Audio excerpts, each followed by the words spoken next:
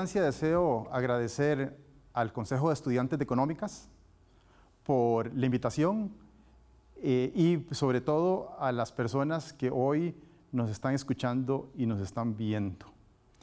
El tema que vamos a conversar tiene que ver con un tema muy actual, un tema que la población ha solicitado realmente como una prioridad a los diversos gobiernos y que tiene que ver con las políticas para la reactivación económica. Sin reactivación económica no habría crecimiento y sin crecimiento no lograríamos superar muchas de las carencias que nuestro país tiene en aspectos como la infraestructura, como la educación, la competitividad, la salud, entre muchas otras. En general, desde el punto de vista económico, podemos medir el crecimiento económico como el incremento en la cantidad de bienes que están disponibles para la población. Países que son más ricos en términos de riqueza material son aquellos países que tienen mayor nivel de Producto Interno Bruto. El crecimiento económico, si bien es un fenómeno relativamente reciente, el mundo realmente no creció sino hasta en los últimos 200 años. Aún a pesar de todo lo que ha ocurrido, no existe, por decirlo, así, una única, una única teoría que nos ayude a entender qué es lo que causa el crecimiento económico. Al parecer, suena lógico que la economía pueda explicar cómo se causa el crecimiento económico, pero no hay evidencia concluyente de todo lo que causa el crecimiento económico. Hay una forma de entender cuáles son las fuentes del crecimiento económico, dividiendo ese crecimiento económico en un aporte de los trabajadores o del trabajo, factor trabajo, un aporte del el factor capital, siendo estos dos los factores principales que afectan a la producción, y en tercer lugar, el aporte dado por la productividad de los insumos. Entonces, yo interpreto la productividad como la posibilidad que tienen los países de poder crecer su Producto Interno Bruto con la misma cantidad de trabajo y capital. Eso implica que los insumos van a ser más productivos y que por lo tanto vamos a poder conseguir más con los mismos insumos. Nuevamente, el crecimiento económico es el resultado de más trabajo, más capital y sobre todo mayor productividad. Resulta que cuando uno analiza el crecimiento económico a través del tiempo y entre distintos países, el elemento que explica por qué se crece más en unos periodos que en otros, o por qué unos países crecen más que otros países, esto se debe principalmente a que hay mayores aumentos en la productividad en estos países.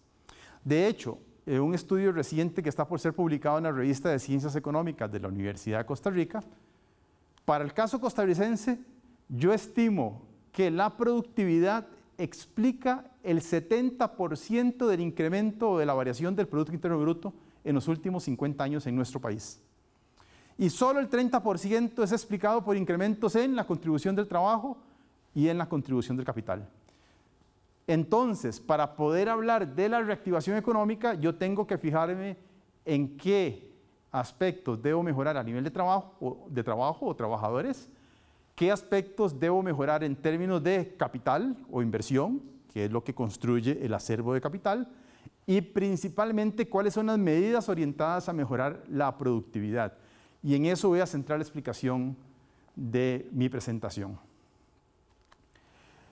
En este gráfico lo que mostramos es que desde 1960 hasta el año 2019, la productividad ha sido el elemento que menos ha influido en nuestro crecimiento económico. Eso parece una dicotomía en relación con lo que dije anteriormente. Lo que estoy diciendo es que los años en los cuales hemos crecido más es porque el crecimiento económico ha crecido más, más rápidamente. Pero aún así, cuando lo comparamos con el aporte del capital y el aporte del trabajo, la productividad es el elemento que más ha faltado en nuestros países, en nuestro país y especialmente después de la crisis de 1980. Vean ustedes que en los 60s, en los 70s, nuestro país experimentaba un crecimiento entre 1,3 y 1,6% al año. Con la crisis de los 80 tuvimos un decaimiento en la productividad y posteriormente hemos tenido aumentos relativamente tímidos en materia de productividad. Es más el aporte del trabajo, pero principalmente más el aporte del capital. Eso tiene un problema, porque los factores productivos se dice que tienen productividades marginales decrecientes y eso eventualmente llegaría a un estancamiento en la tasa de crecimiento económico del país. Por eso es que parte fundamental de las medidas que van destinadas a la reactivación económica tienen que ver cómo se logra aumentar la productividad de nuestros insumos. Y de eso vamos a hablar un poco más adelante. Antes de eso, antes de centrarnos en el principal elemento que es la productividad, bueno, hablemos de algunas políticas que mejorarían la contribución de los trabajadores a ese crecimiento económico del país. Por ejemplo, una forma en la cual nosotros podemos generar crecimiento es mediante la atracción de más trabajadores al sector, al sector productivo. O sea, ustedes pueden mejorar la contribución del trabajo a la producción porque tenemos más personas trabajando. Eso implica, por ejemplo, una mejor inserción de la mujer en el mercado laboral. Eh, por ejemplo, una disminución de la informalidad o del subempleo. Eso mejora, digamos, la cantidad de horas que se le dedican al trabajo formal. Y lo otro va atacando hacia las deficiencias en materia de la calidad de los trabajadores, lo que llamamos capital humano. Y el capital humano se mejora en primer lugar con más educación. Educación especialmente enfocada hacia el trabajo. Hay dos formas de contribuir más en materia de educación. Una es educación formal, eh, eh, eh, como educación universitaria, y la otra es la educación dual. El otro aspecto que también mejoraría la contribución del trabajo al crecimiento es la flexibilidad, la flexibilidad laboral. Por ejemplo, la posibilidad de que las personas puedan tener jornadas mucho más flexibles como la tienen otros países, en donde se trabaja cuatro días, 12 horas y se descansa tres días. Eso, según algunos estudios, conducen a una mayor productividad del trabajo y por lo tanto una mayor contribución del trabajo al crecimiento económico. Y evidentemente el tema de la informalidad, que ha venido creciendo mucho en nuestro país en los últimos años, especialmente por el incremento en cargas sociales, pues eso es una forma en, la cual nosotros tenemos que disminuir esa informalidad con el fin de que los trabajadores contribuyan más al crecimiento económico porque las unidades informales son más pequeñas, son más ineficientes y tienen un límite para el crecimiento. O sea, no puede crecer lo mismo una empresa informal que una empresa formal. La empresa informal son pequeñas, relativamente ineficientes y no pueden explotar esas economías a escala que son las que explican en parte el crecimiento económico.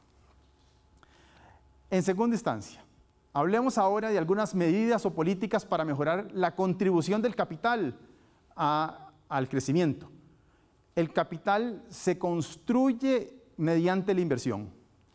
Y en las economías existe una asociación entre el ahorro e, y la inversión. Lo que quiero decir es que más ahorro conduce a más inversión y más inversión conduce a mayor crecimiento.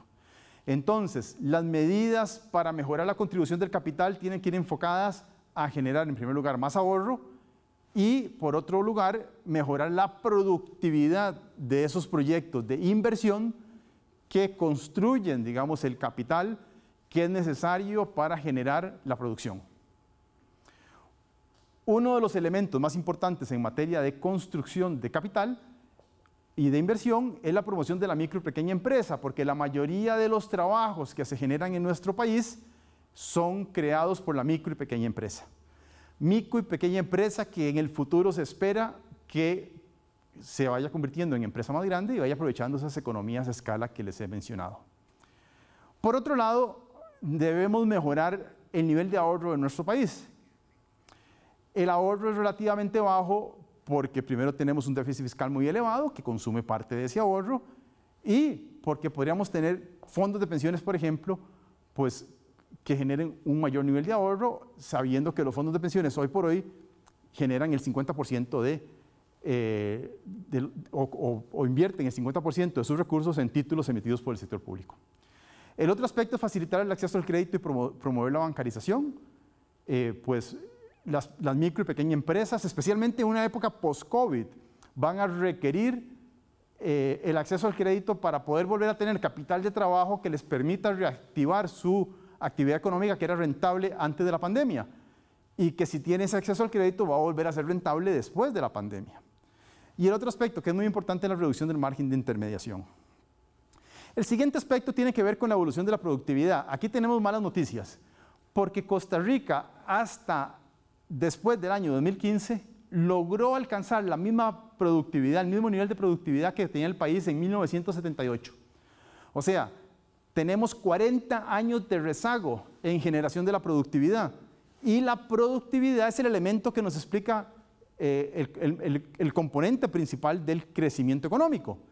Entonces, hasta el año 2015 superamos el nivel de productividad, luego bajamos con la crisis del año 2018, la crisis financiera internacional, logramos volver a recuperar el nivel máximo, pero ahora con la crisis del COVID vamos a retroceder de forma, de forma eh, bastante sensible.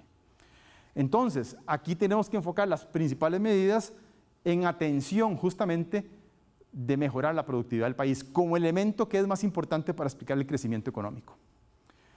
¿Cómo se mejora la productividad? Existen miles y miles de formas en las cuales se puede mejorar la productividad. A nivel individual, a nivel microeconómico, un gerente puede mejorar la ventilación de una fábrica para que sus trabajadores sean más productivos. Eh, a nivel de, decisiones empresariales, podemos mejorar la productividad en la empresa despidiendo un gerente malo y contratando un gerente bueno, pero a nivel nacional el gobierno también puede promover ciertas políticas, ciertas acciones para mejorar esa productividad.